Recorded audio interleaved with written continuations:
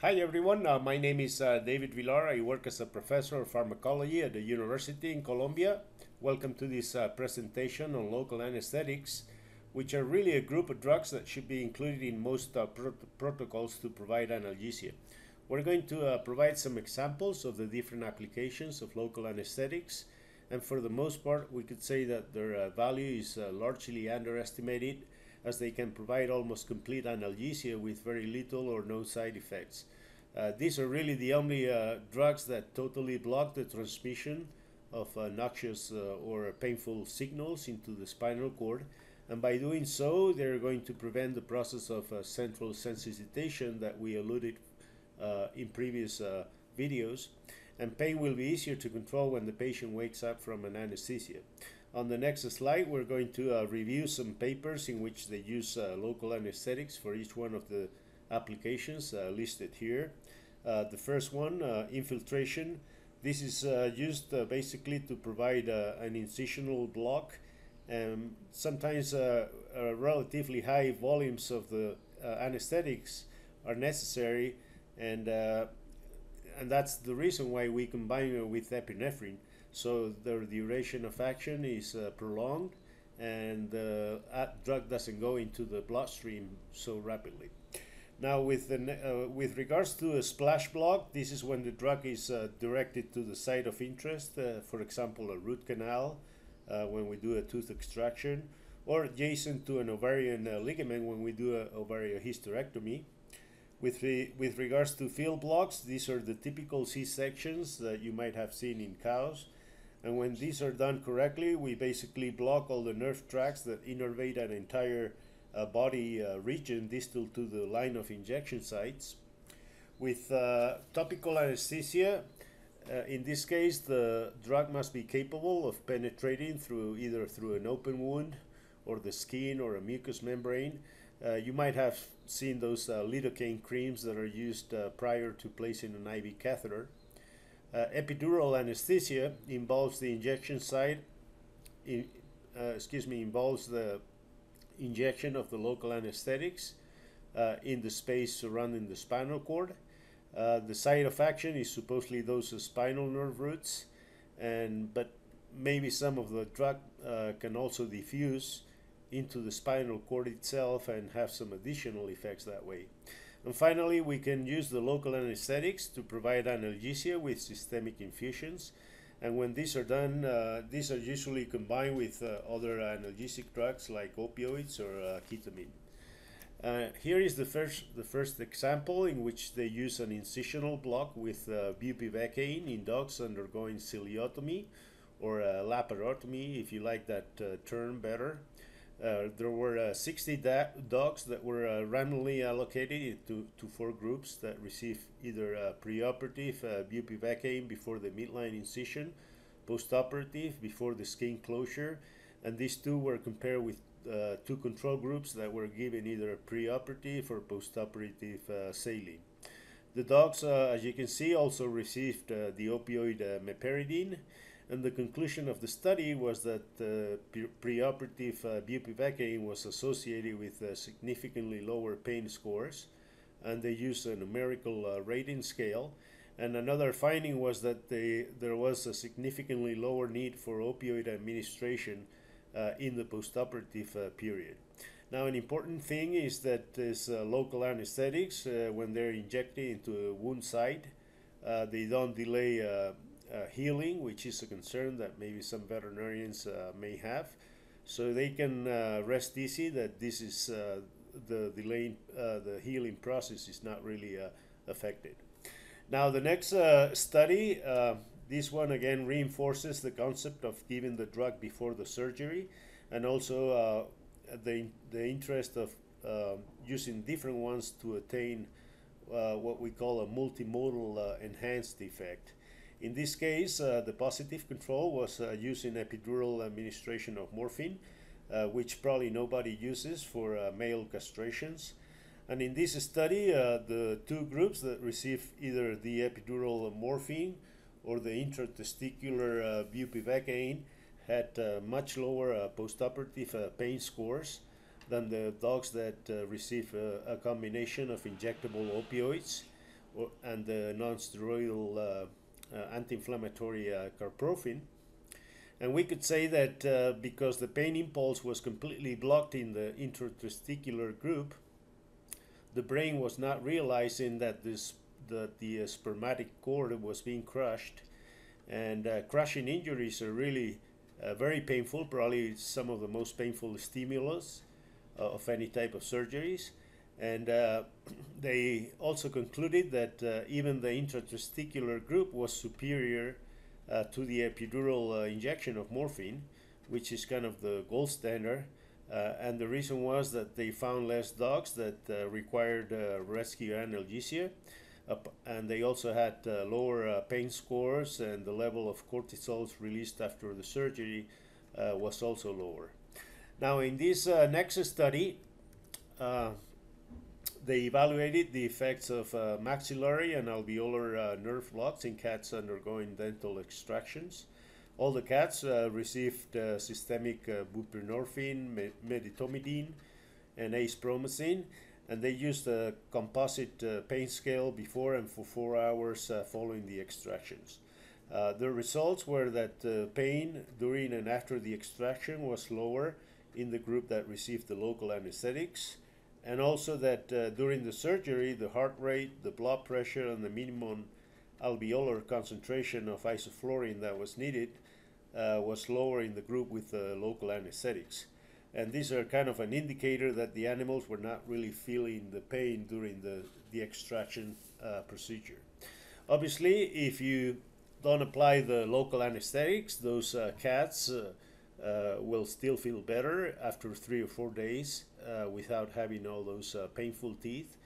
But the question is that in the meantime, uh, they're going to be quite painful. So this type of studies again reinforce the idea of the importance of uh, providing as best uh, preemptive anesthesia as we as we possibly can.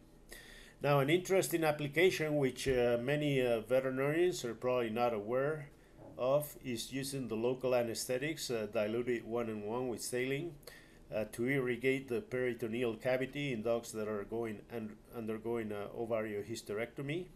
In this case, they instilled the local anesthetic, uh, bupivacaine, after the surgery was completed. And basically, they were they obviously they were comparing these animals to a control group that also uh, received opioids and non-steroidal anti-inflammatories. So the bottom line was how much uh, are you enhancing the analgesia by using these uh, local anesthetics in the peritoneal cavity. This is uh, actually uh, widely used in human medicine, and in this case, the conclusion was that the, the bupivacaine group, uh, which is uh, longer lasting than lidocaine, provided significantly lower pain scores compared to the saline and the lidocaine group. This is, uh, as I say, something that is usually not contemplated in most uh, ovariohysterectomy protocols. And as you can see here, it's an application of the local anesthetics that uh, veterinarians should be uh, uh, doing more frequently. One of the issues uh, of applying infiltration analgesia is that sometimes very high amounts of the local anesthetics are necessary and if they were to be absorbed rapidly, there is always the risk of uh, creating uh, toxicity. So you may come across formulations that combine the use of lidocaine with epinephrine, and this is one of those studies in which uh, they look at the impact of adrenaline on the kinetics of uh, lidocaine injected in the paravertebral uh, brachial uh, plexus, which you may need to do if you were to amputate the front leg of this dog. So they injected eight, eight dogs uh, with the usual uh, 2 milligram per kilogram lidocaine at the spaces uh, of the C6, C7, and the junction of C8 and T1. And then they collected the blood to measure uh, the concentration of lidocaine for the next three hours. And what they found is uh, something similar uh, to what you might see on this graph, which is actually I took it from another study, and I just wanted to uh, illustrate the point of uh, flip-flop kinetics here. When you use uh, adrenaline um, combined with uh, lidocaine, basically you are uh, slowing the absorption rate of lidocaine, uh, so you don't really reach such high concentrations of, of the drug in a short time. and consequently there is uh, less potential for systemic uh, toxicity. And in addition uh, to being safer, you also prolong the duration of the local anesthesia because the lidocaine uh, will be at the site of the injection uh, a lot longer. So as you can see on this graph, the decline uh, or the elimination of part of the lidocaine curve is uh, less pronounced because lidocaine is being slowly absorbed from the tissues. Now, another way of uh, looking at the multimodal uh, effect of analgesic uh, drugs is uh, looking at how much uh, is um, of the gas anesthesia is necessary during an intervention. So in this study, they use a combo of lidocaine and ketamine and compare it with each drug given alone. And as you can see uh, on the lower graph, uh, the combination of the two, the two drugs uh, decreased the minimum, the minimum alveolar concentration of uh, sevoflurane by almost 62%. Uh, um, notice that uh, both drugs were initially provided as a bolus and then they were followed with a constant rate of infusion. And this is basically done to keep the concentrations steady during the entire anesthetic period. On this is uh, other study, they used a computerized uh, pressure uh, algometer uh, to determine the pain threshold in dogs that were subjected to a pressure stimulus. And the idea was to determine which concentrations of the ketamine and lidocaine will raise that uh, uh, threshold level. This was a crossover study with six dogs, and the three groups were given either a bolus of ketamine followed by a CR CRI or, uh, or a bolus of ketamine and lidocaine, followed by CRI of both uh, drugs, and a group of, uh, with a bolus of ketamine, followed by a higher uh, dose rate of ketamine of 50 micrograms per kilogram per minute instead of the 30 micrograms per kilogram per minute. So if we look at the results, uh, they found that the minimum serum concentrations of ketamine that produce uh, analgesia were between 100 and 200 nanograms uh, per mil, which is similar to what uh, is found in humans. But unlike, uh, unlike uh, humans, dogs need a higher constant rate of infusion to attain those concentrations. So this is a good example why you cannot always extrapolate doses from one species to another. Uh, at the higher uh, CRI of ketamine, the dogs also develop some of the anesthetic effects of the drug, uh, like uh, disorientation, swaying of the head, salivation, hyperactivity. And the most interesting thing was that uh, when they brought uh, lidocaine on board with the lower doses of ketamine, not only they produce similar nociceptive thresholds as the higher concentrations of ketamine, but they also prevented the side effects of ketamine. So the analgesia effects uh, were um, very short-lived. Um, as you can see, they disappeared within uh, 20 minutes of ceasing the, the constant rate of infusion. And obviously that's the reason why they need to be constantly infused. And the conclusion of this study that was uh, all three treatments increased the mechanical threshold for pain and uh, therefore they provided antinociceptive effects. Uh, but also that the addition of lidocaine was uh, recommended uh, uh, to attain a, a, multimodal approach, which is always a better way of controlling pain. Now, as a final slide, there is always a controversy as to whether lidocaine should be used in cats or entirely avoided. it seems to have a bad reputation but when you search the literature, it doesn't really suggest any particular sensitivity of cats compared with other species like dogs. Uh, the rationale is that uh, CRI of uh, lidocaine causes more pronounced cardiovascular depression than uh, equipotent uh, doses of isoflurane, and that normal doses uh, that are used in infiltration and blocks could potentially kill a cat if, if they were given intravenously. And this is not really the case if you don't really exceed the therapeutic doses, which are usually below uh, 10 milligrams uh, per kilogram. If we look at this uh, study, in which they compare the central nervous system and the cardiovascular uh, toxicity of lidocaine and bupivacaine in cats, they were uh, infusing actually a very whopping dose of up to 16 uh, milligrams per kilogram per minute until until the minimal uh, until the mean arterial pressure uh, dropped to uh, uh, 10 millimeters of mercury, and they call that the cardiotoxic endpoint at which they started the resuscitation uh, protocols. And I'll, I'll have to say that uh, they were success, successful uh, resuscitating all the 10 cats. And they concluded that the mean convulsive dose was 12 milligrams per kilogram, which is about three to four times lower than the cardiotoxic uh, dose. In other words, uh, you may see uh, tremors and convulsions before you see major changes in heart uh, function. Now, if we look at the more common scenario in which you use uh, lidocaine as an IV bolus and you follow it with a CRI, which is what was done on this other study, uh, they found that uh, lidocaine causes a dose-dependent decrease in isoflurane requirements.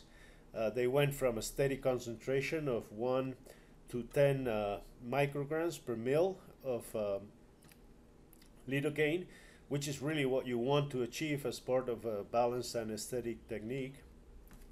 And basically, at the higher concentrations of 10 micrograms per mil, there was a 59 reduction in the uh, minimal alveolar concentration of isoflurane that was needed uh, to anesthetize those cats. And when they look at the encephalographic uh, recordings, they found no activity suggestive of uh, or convulsing.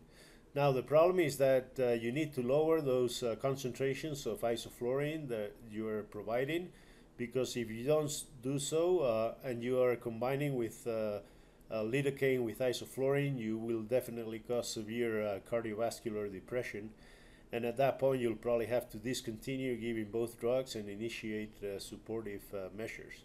So it is important to keep in mind that if you plan to use uh, typical isoflurane concentrations, you may want to avoid using lidocaine altogether. This was uh, my final slide. Uh, we have tried to cover a lot of information in a very short time. I hope you enjoyed the presentation. So until next time, uh, bye-bye for now.